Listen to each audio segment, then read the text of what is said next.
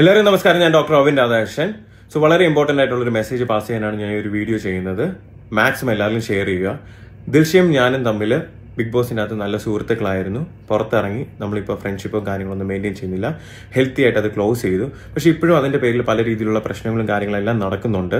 എന്റെ ഒരു റിക്വസ്റ്റ് ആണ് അതൊന്നും ഇനി വേണ്ട. കാരണം ദിൽഷ ദിൽഷയുടെ ലൈഫായിട്ട് മുന്നോട്ട് പോകുന്നുണ്ട്. ഞാൻ എന്റെ ലൈഫായിട്ട് മുന്നോട്ട് പോകുന്നുണ്ട്. സോ രണ്ടുപേർക്കും കരിയറും ലൈഫെല്ലാം ഉണ്ട്. സോ അതുകൊണ്ട് ദൈവം ഇത് സോഷ്യൽ മീഡിയ ഫൈറ്റ്സും കാര്യങ്ങളൊന്നും വേണ്ട എന്നുള്ളതാണ് എന്റെ ഒരു റിക്വസ്റ്റ് ഓക്കെ ഞാൻ സൂരജുമായിട്ട് സംസാരിച്ചിരുന്നു. പ്രശ്നങ്ങളെല്ലാം ഞങ്ങൾ സോൾവ് ചെയ്തിട്ടുണ്ട്. അതുകൊണ്ട് ദൈവത്തോർത്ത് ഇനി ദിൽഷേനെയോ ദിൽഷയുടെ ഫാമിലിനെയോ സൂരജിനെയോ ഇനി ആരെയും പറ്റി ആരും നെഗറ്റിവിറ്റിയോ കാര്യങ്ങളോ ഒന്നും പറയണ്ട.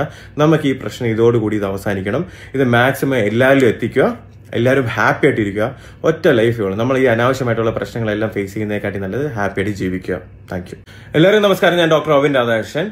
സോ വളരെ ഇമ്പോർട്ടന്റ് ആയിട്ടുള്ള ഒരു മെസ്സേജ് പാസ് ചെയ്യാനാണ് ഞാൻ ഈ ഒരു വീഡിയോ ചെയ്യുന്നത്. മാക്സിമം എല്ലാവരും ഷെയർ ചെയ്യുക.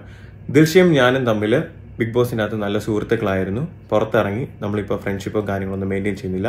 ഹെൽത്തി ആയിട്ട് അത് ക്ലോസ് ചെയ്തു. പക്ഷേ ഇപ്പോഴും അതിന്റെ പേരിൽ പല രീതിയിലുള്ള പ്രശ്നങ്ങളും കാര്യങ്ങളെല്ലാം നടക്കുന്നുണ്ട്.